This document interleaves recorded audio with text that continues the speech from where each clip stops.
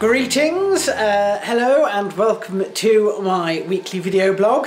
Um, it is the end of uh, the vernal um, holidays, sadly, uh, and we are going back to work on the other side of this weekend. There's a couple of things to note. First of all, uh, now we are in Passiontide. Now, depending on your um, liturgical point of view, uh, Passiontide is either Holy Week or Holy Week plus the week before. Roman Catholics tend to mark it from Passion Sunday, uh, which is two weeks before Easter, whereas um, other people, like us, uh, mark it from Palm Sunday onwards, which is just Holy Week. And of course that is this weekend. Uh, it also happens to be the uh, vernal equinox this weekend as well. That's the um, point where we are at the quarter year, if you like. Astronomically speaking, the hours of daylight and the hours of uh, darkness are supposed to be about the same length, basically. And from this point on, uh, we will get more light. And of course, when we do the daylight savings in a couple of weeks' time, um, we will get uh, significantly more light and that goes on and on and on until we reach the half year at the summer solstice.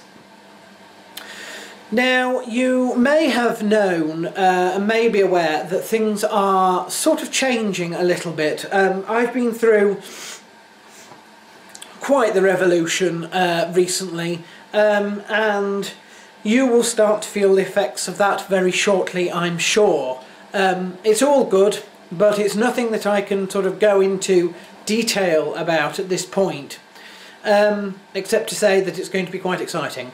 There will be a few midweek broadcasts. I'm starting up several projects, one of which will be uh, a Wednesday afternoon. I'm going to be doing um, visiting different coffee and tea shops, and I think I might uh, start ranking and rating them as well.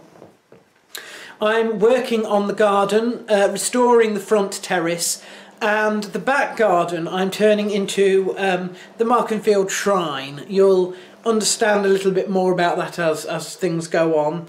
Obviously the allotment is picking up again now. Uh, I have been to all the um, all the different shops, the uh, uh, garden centres um, to have a look and they are all starting to bring out their stuff now. Um, of course it's a bit early for us yet, we will be working mainly from plants and we can't get them this early because we don't have a, a greenhouse. Um, there will also be Monday visits, um, we'll be doing walks, more walks again, more walks, more city visits uh, across the summer that's more easy to do anyway. Uh, but the Saturday checklist, which is sort of taken off, means that a lot of the stuff that I used to do on a Monday, I can now get done sort of concentrated on a Saturday afternoon. So, you know, um, there we are. It's all very exciting. Things, I may be going back to work and the holidays may be over, but things are not going to go back to normal, trust me.